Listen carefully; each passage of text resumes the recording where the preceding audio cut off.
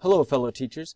Uh, in this video we're going to be looking at various settings that you can give to quizzes or tests uh, that might be helpful for you when uh, using your test or quizzes in different ways.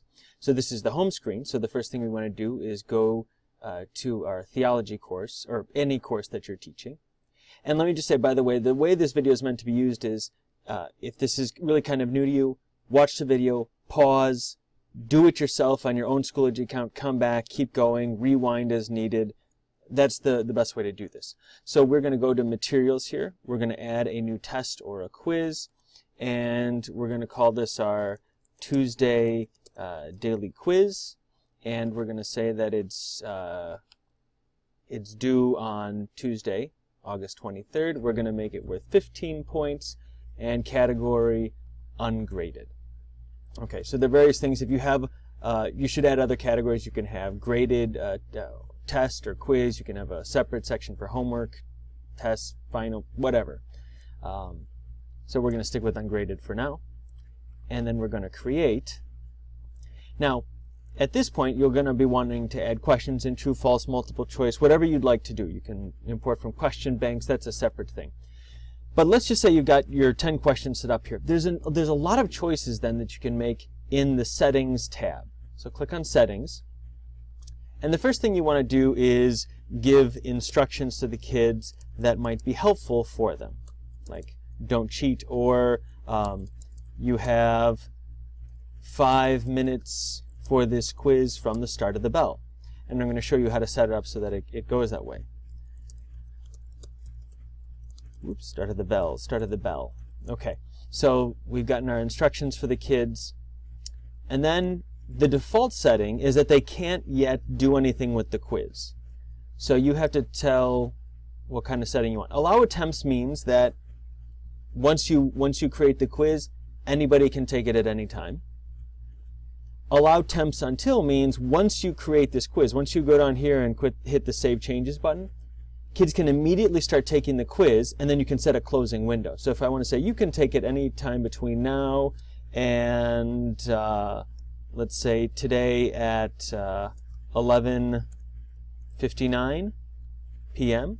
or let's say since it's Tuesday the 23rd, that's our daily quiz. So if you take it any time up until midnight on that Tuesday. Okay, that's allow attempts until. My favorite setting is this. Allow attempts from until. So I like to use this for, for daily quizzes. So if this is my, my Tuesday daily quiz, I'm going to say you can start at 8 a.m. and it closes at 8.05. Oops. It start, closes at 8.05.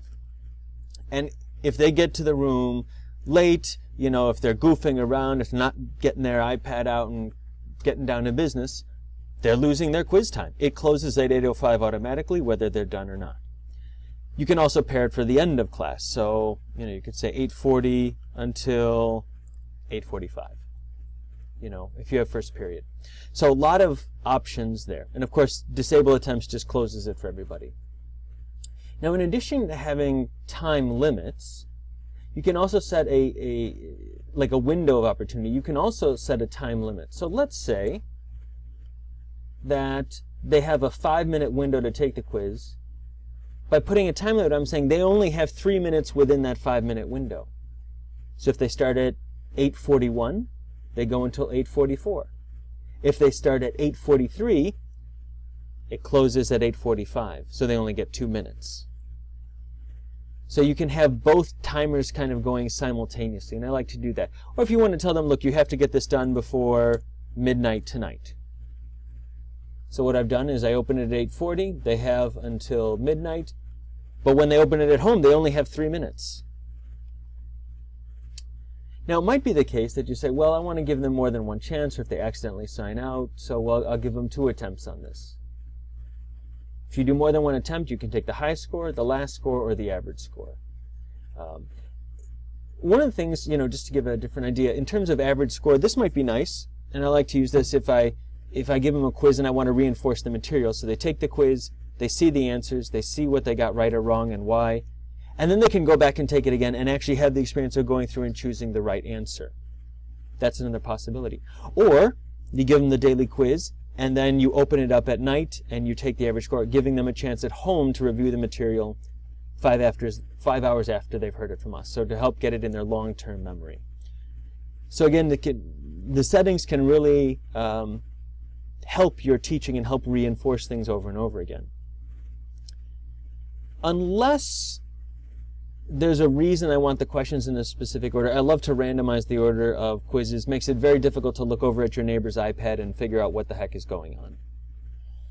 Um, language keyboard, we're, we're going with English. Um, question, review.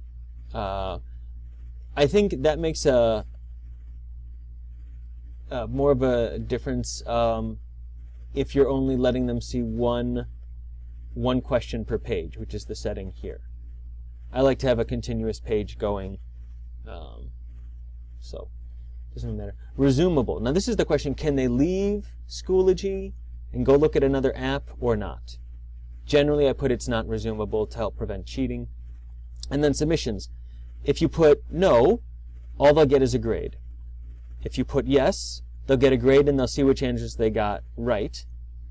If you put I think that's the way it works. And if you put yes with correct answers, they'll see all the right and wrong answers and why. So again, that's um, that's an option too. So how you set up your quiz makes a big difference in terms of how you can use it as a as a teaching tool, as a bell ringer, as a reinforcement of, of what they material that they had earlier in the day. Lots of wonderful options available. And then you click Save Changes, and your quiz is ready to go. And you go back to your course materials page and you're all set.